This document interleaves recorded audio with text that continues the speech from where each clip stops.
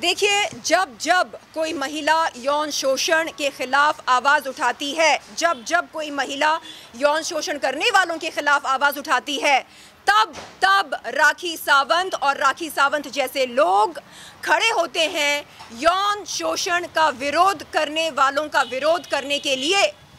मैं पूछती हूँ, आखिर क्यों? एक महिला होते हुए राखी सावंत को पीड़ित महिलाओं के प्रति सहानुभूति क्यों नहीं दिखाती है वो? एक महिला होते हुए पीड़ित महिलाओं से वो हमदर्दी क्यों नहीं रखती है? और क्या ये हमारा संवैधानिक हक नहीं है कि हम हक की लड़ाई लड़ें कि हम इंसाफ और न्याय की गुहार लगाएँ? राखी सावंत जी, जी। कहना चाहेंगे? वीडियोस भी साथ आ खेल के लिए भाग रही तो जी। आप कॉम्प्रोमाइज करेंगी? क्या इस मामले में?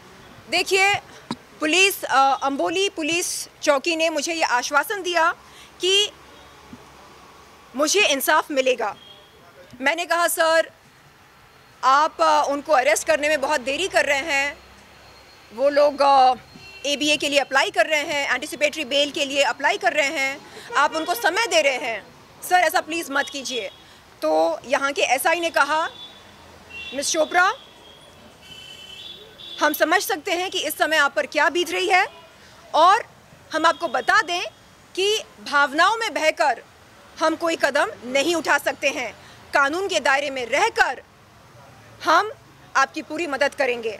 तो उन्होंने कहा कि जल्द से जल्द राखी सावंत और उनके वकील फाल्गुनी ब्रह्मभट्ट को समन्स नोटिस भेजी जाएगी। दूसरी बात, हमारा संविधान इस बात की इजाज़त नहीं देता है कि हम किसी महिला या पुरुष के वस्त्रहीन चित्र फ़ोटोज़ वीडियोस किसी भी पब्लिक प्लेटफॉर्म पर पेश करें। लेकिन जनता ये भी जानना चाहेंगे कि आप वाकई आप ही वो वीडियो में हैं या नहीं है और क्या आपने वो वेबसाइट्स के लिए जी। की है या नहीं? मैंने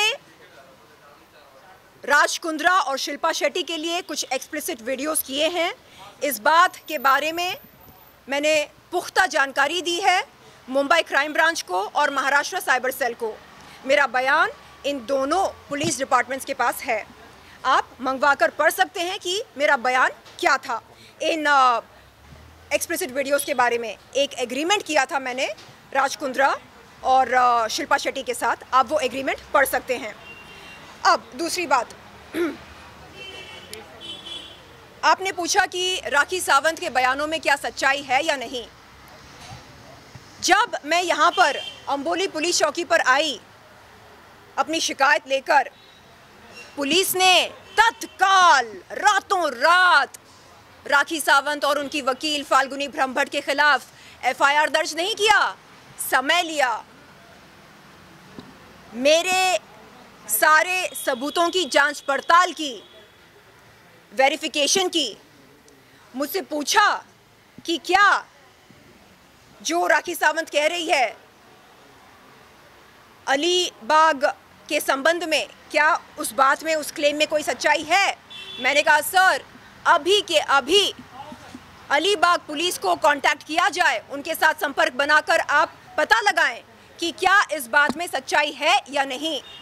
अलीबाग पुलिस का ये कहना है कि उनके पास ऐसा कोई एफआईआर नहीं है, जिसमें शर्लिन चोपड़ा का नाम बतौर आरोपी या गिल्टी मौजूद हो। ऐसा कोई भी एफआईआर उनके पास नहीं है। इस बात से आप पता लगा सकते हैं कि राखी सावंत के बयानों में टिप्पणियों में कितनी सच्चाई है। अली अलीबाग पुलिस चौकी ने इस बात की अ, इस बात को सामने रखा है ये जानकारी दी है अंबोली पुलिस चौकी को। कि उनके पास ऐसा कोई भी एफआईआर नहीं है, जिसमें शैलिन चोपड़ा का नाम मौजूद हो, बतौर आरोपी, बतौर अपराधी। तो अगर किसी को, किसी महिला पर लांछन लगाना हो, किसी महिला को जलील करना हो तो वो पुलिस चौकी पर जाएँ और सबूत पेश करें। राखी सावंत के पास अगर कोई ठोस सबूत है तो वो जाए और पुलिस को पेश करे। मीडिया के सामने ये बोलने के बजाय कि शर्लिन चोपड़ा, जो लड़ाई लड़ रही है, उस लड़ाई में जीत सिर्फ़ और सिर्फ़ सच्चाई की हो, ये बोलने के बजाय वो ये कह रही है, अरे, ये तो वैश्या व्यवसाय करती है। राखी सावंत, तुझको मैं आज चेतावनी दे रही हूँ। अगर तेरे पास ऐसा कोई सबूत है तो तू जा, पुलिस चौकी में जा और पेश कर उस सबूत को। क्योंकि अलीबाग पुलिस ने तेरे इस बयान को खारिज कर दिया। अलीबाग पुलिस ने कहा कि उनके पास ऐसा कोई एफआईआर नहीं है, जिसमें शर्लिन चोपड़ा का नाम मौजूद है, बतौर अपराधी, बतौर आरोपी। उनके पास ऐसा कोई एफआईआर नहीं है। राखी सावंत, झूठ बोलना बंद कर। झूठ बोलना बंद कर। अपनी लड़ाई लड़। पब्लिसिटी की भूखी है वो। इसलिए जब कोई पीड़ित महिला आवाज़ उठाती है यौन शोषण के खिलाफ, वो उसकी लड़ाई में ज़बरदस्ती घुसकर लाइमलाइट और पब्लिसिटी पाने की इच्छा रखती है।